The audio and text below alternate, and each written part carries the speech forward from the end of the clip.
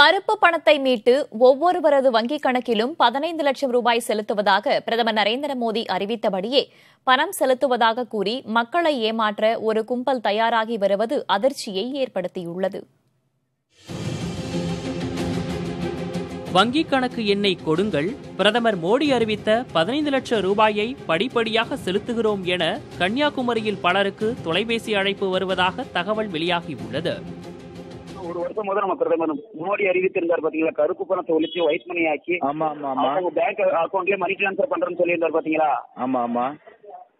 அந்த பணம் இப்பதாங்க தமிழ்நாடு ஃபுல்லா செயல்படுத்திட்டு வர இன்னைக்கு டேட்ல பாத்தீங்கன்னா மூவாயிரம் பேருக்கு வந்திருக்கு இந்த பணம்.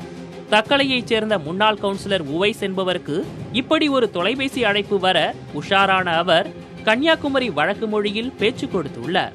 மையவாடி எனப்படும் சுடுகாட்டு வங்கியில் கணக்கு உள்ளதாகவும் ஏடிஎம் கார்டை யமதர்மன் கொடுப்பார் என்பது போல் குமரி வட்டார மொழியில் உவைஸ் பேச்சு கொடுக்க எதுவும் புரியாத மோசடி நபரோ வங்கி எண் ஏடிஎம் கார்டு எண்களை பெறுவதிலேயே குறியாக இருந்துள்ளார்.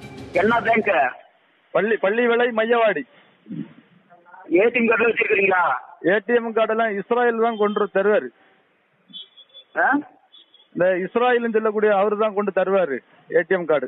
சார் இப்ப ஏடிஎம் கார்டு இருந்தா தான் எங்களால பணம் அனுப்பிவிட முடியும். ஏடிஎம் கார்டு இருக்குதா இல்லையா? அதான் சார் ஏடிஎம் கார்டு அவங்க தரல. அவங்க வந்து அங்க எழுதி வச்சிருக்காங்க. எப்ப தாராங்கன்னு தெரியாது. டைம் வரைச்சு தான் தருவேன்னு சொல்லிட்டாங்க. மோசடி நபர்களை அறிந்து முன்னாள் கவுன்சிலர் உவைஸ் நகைச்சுவையாக பேசியிருந்தாலும் பலருக்கு இது போன்ற அழைப்பு வந்துள்ளதாக கூறப்படுகிறது. அறியாத மக்கள் பலர் வங்கிக் கணக்கு எண்களை கொடுத்து ஏமாற வாய்ப்புள்ளதாக அச்சம் தெரிவிக்கிறார் உவைஸ். இது எங்க இருந்து வருது? அந்த நபர் யாரு? என்று விசாரித்து அவர்கள் மேலே வந்து நடவடிக்கை எடுக்கணும். ஏன்னா அப்பாவிகள் நிறைய பேர் வந்து இந்த பேங்க் நம்பர் அக்கௌண்ட் நம்பரை கொடுத்து பாதிக்கப்பட்டிருக்காங்க. தெரியாது. ஏன்னா கஷ்டத்துமான சூழ்நிலையில் வாழ்ந்துட்டுக்கனால வந்து என்ன செய்வோம்? இதே மாதிரி ஏதாவது கிடைக்காதா?